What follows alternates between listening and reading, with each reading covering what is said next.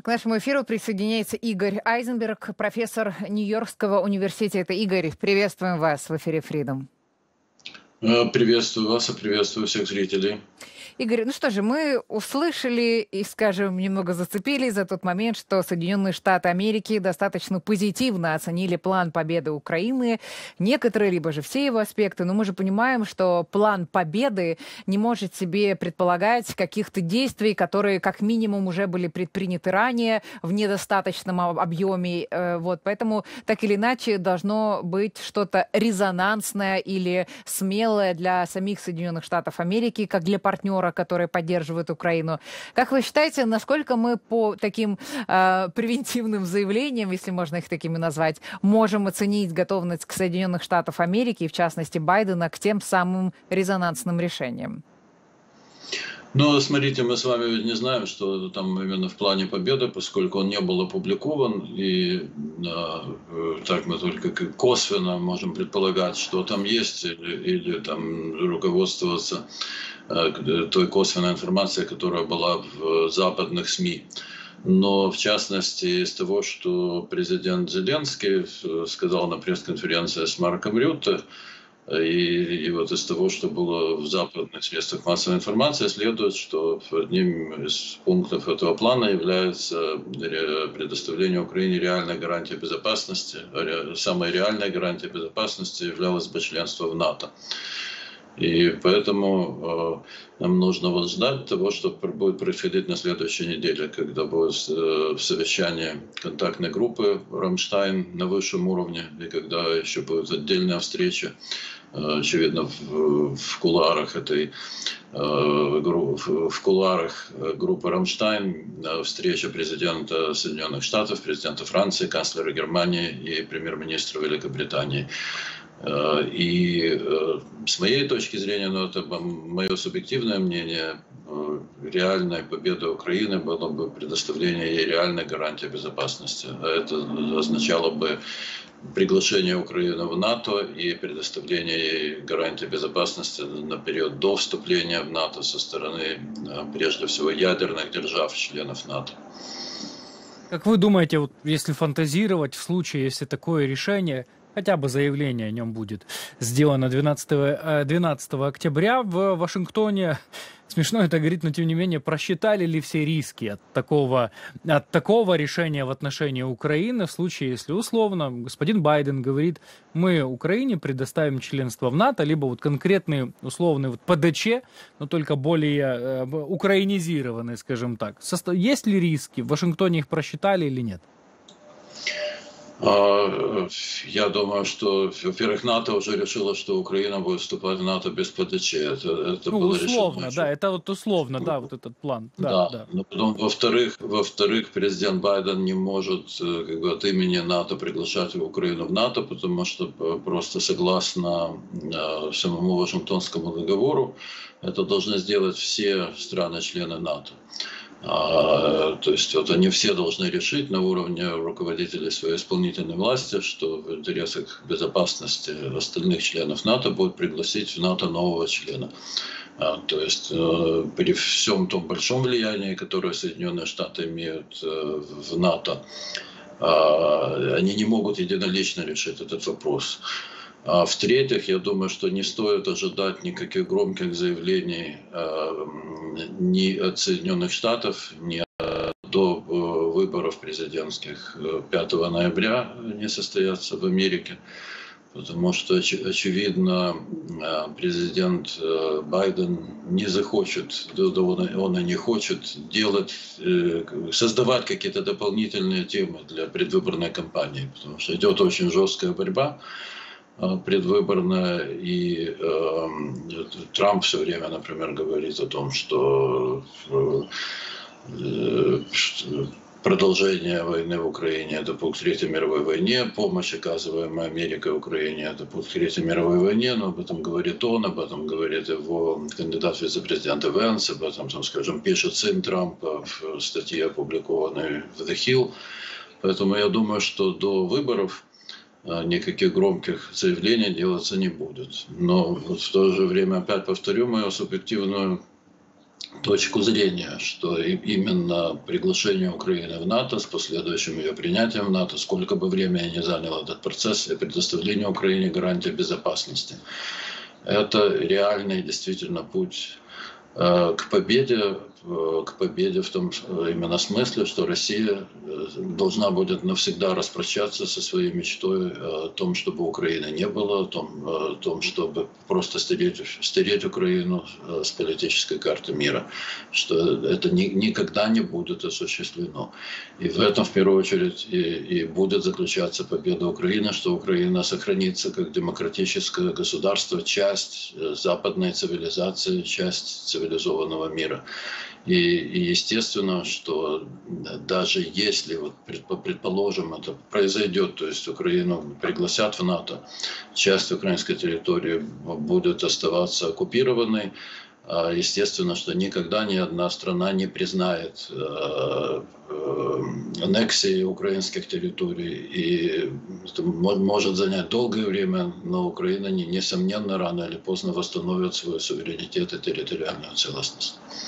Интересно в контексте и вступления Украины в НАТО, и плана победы Украины поговорить, и о программе, о которой говорил министр обороны Украины Рустем Умеров, о ракетной программе. Он сказал, что совсем скоро вы услышите, узнаете, что в Украине будет представлена мощная э, ракетная программа. И здесь интересно, ведь э, предполагается, вероятно, что будут украинские разработки, возможно, и некоторые разработки партнеров, над которыми мы будем вместе вместе работать в сотрудничестве. И здесь идет речь, вероятно, об их важности не только на нынешний период, когда Украина сейчас в моменте защищается от российской агрессии, но и в последующем как части некоторых таких гарантий и сотрудничества в том числе. Так вот, как вы считаете, перспектива вступления Украины в НАТО, э, стремление Украины все-таки отстоять и свои границы и побороть российскую агрессию, насколько может, э, скажем, помочь нашим партнерам вот в таких моментах, как, например,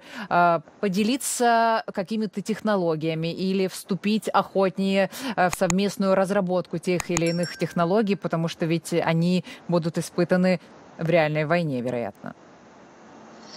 Ну, естественно, что страны-члены НАТО больше сотрудничают между, между собой, чем, допустим, чем они сотрудничают со странами, не являющимися членами НАТО. То есть там идет гораздо большая интеграция на уровне производителей вооружений, происходит гораздо большая координация. А, поэтому можно, естественно, ожидать, что если бы Украина стала членом НАТО, что это бы способствовало развитию ее оборонной промышленности, способствовало бы тому, чтобы э, другие, другие производители оружия стран-членов НАТО делились какими-то какими технологиями, возможно, какие-то совместные производства бы организовывались, что, кстати, делается уже сейчас. Но вот я бы еще обратил внимание на, на два таких э, косвенных момента, э, но важных. Это, это и э, визит генерального секретаря НАТО Марка Рюта в Киев. То есть он только стал генеральным секретарем. Первое его действие, буквально первое, это поездка в Киев. То есть это вот подчеркивает то значение, которое Украине придается в НАТО, и можно это считать и демонстративным жестом, можно это считать, что это э, проходили важные переговоры в Киеве, о которых Рюта может рассказать э, а, лидерам стран НАТО. А, и есть еще один момент. Вот вчера был предвыборный митинг Камалы Харрис э, в штате Висконсин на котором ее поддержала бывшая республиканская конгрессвумен Лиз Чейни, дочь бывшего вице-президента США. И вот интересно, что во время предвыборной кампании в Америке а, внешнеполитические темы, они вообще очень мало затрагиваются или вообще не затрагиваются. Камала Харрис в своем выступлении вчера, она сочла нужным и важным подчеркнуть, что она хочет, чтобы Украина победила. И она подчеркнула разницу позиции своей, позиции Дональда Трампа, потому что она сказала, что то, чего хочет Трамп, чтобы Украина отдала свои территории России, что это не мир, а капитуляция, а, а что она, Камала Харрис, хочет победы Украины, что вызвало энтузиазм а избиратели, которые присутствовали на митинге, они очень бурно приветствовали это. То есть вот э, эти вот такие косвенные вещи, они говорят о том, что Соединенные Штаты действительно очень большое значение придают э, тому, что, чтобы э, Украина победила, чтобы Украина была демократическим, свободным государством, частью западной цивилизации, что очень важно. Беларусь тоже формально независимое государство, но она является частью фактически русского мира. А э, Соединенные Штаты, несомненно, в лице нынешней администрации хотят, чтобы Укра... Украина была там, где она и должна быть, чтобы она была частью, частью европейской западной цивилизации. Одновременно с тем, как э, президент Зеленский представляет свой план победы Соединенным Штатам Америки, говорит о мире, о необходимости победы Украины, потому что именно победа Украины, в принципе, перечеркнет возможность Третьей мировой войны. Это нужно зарубить на, на носу себе тем, кто говорит обратное.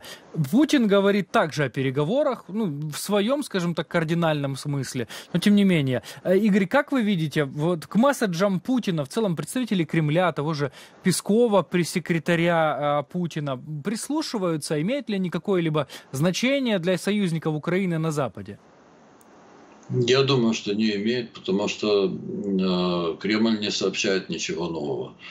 Э, и, э, ну, например, все представители нынешней администрации Соединенных Штатов неоднократно уже говорили о том, и сам президент Байден, вице-президент Харрис, и госсекретарь Блинкен, и министр обороны Остин, что все, что говорит Путин, это предложение Украине о капитуляции, что это абсолютно неприемлемо. И э, поэтому я, я не думаю, что то, что говорит Путин, а тем более то, что говорит Песков, может играть какую-то роль в принятии решений западными лидерами. То, что играет роль, это то, что э, западным лидерам сообщают их разведка. А, и а, разведаналитики. Э, то есть они делают выводы на основе информации, которую они получают, и, и дают соответствующие рекомендации лидерам своих стран. Я думаю, что главную роль в принятии решений, главную или вообще единственную роль в принятии решений западными лидерами играет именно это, а не а, риторика Путина, а тем более Пескова.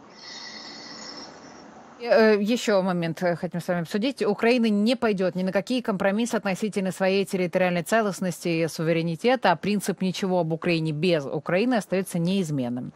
Об этом министр иностранных дел Украины Андрей Сибига заявил на полях Варшавского форума по безопасности 1 октября. Андрей Сибига также напомнил участникам мероприятия об иллюзорности так называемых красных линий России и призвал избавиться от страха эскалации. Он отметил, что после успешной Курской операции Украина уж окончательно развеяла российские мифы о красных линиях. Услышим цитату, после нее обсудим.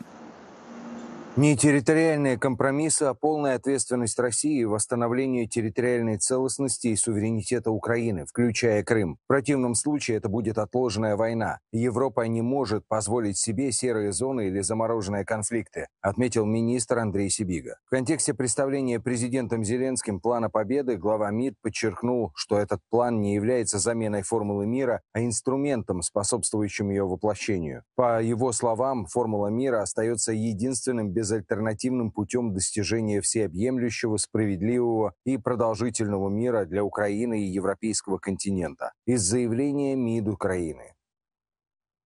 У нас буквально минута до завершения этого разговора. Как вы считаете, Курская операция на самом ли деле э, является такой таблеткой от страха для партнеров Украины, да и в принципе для всех цивилизованных стран, которые хотели бы решиться на большую помощь, но несколько еще опасались?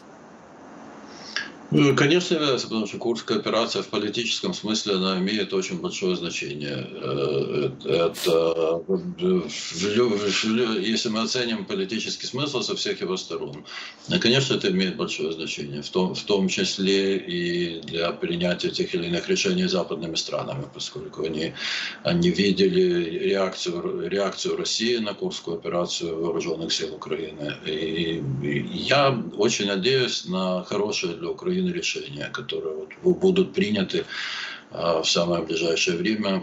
А, и э, очень, очень хочу верить, что эти решения будут способствовать победе Украины и, и тому, что Украина будет навсегда частью западного мира, то есть частью того, чем она должна быть, чем она исторически, культурно и во всех остальных смыслах являлась э, всегда за участие в эфире Freedom. Всегда вам тут рады. Напомню, Игорь Айзенберг был с нами на связи, профессор Нью-Йоркского университета. Главные события Украины и мира. Самые интересные аналитические обзоры от авторитетных спикеров на YouTube Freedom. Подпишитесь, чтобы быть в курсе событий.